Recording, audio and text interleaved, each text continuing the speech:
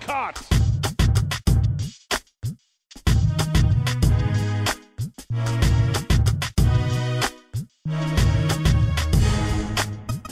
Nice three. Akot got himself set.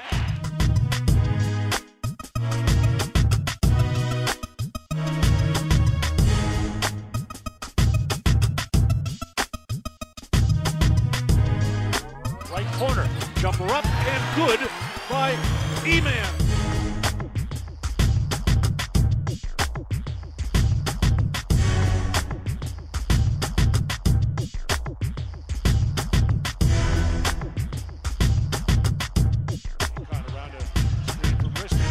All the way inside and lays it in. Wow, nice move.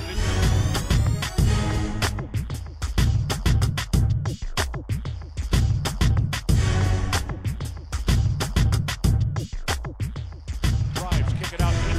Wide open for the triple. Got it.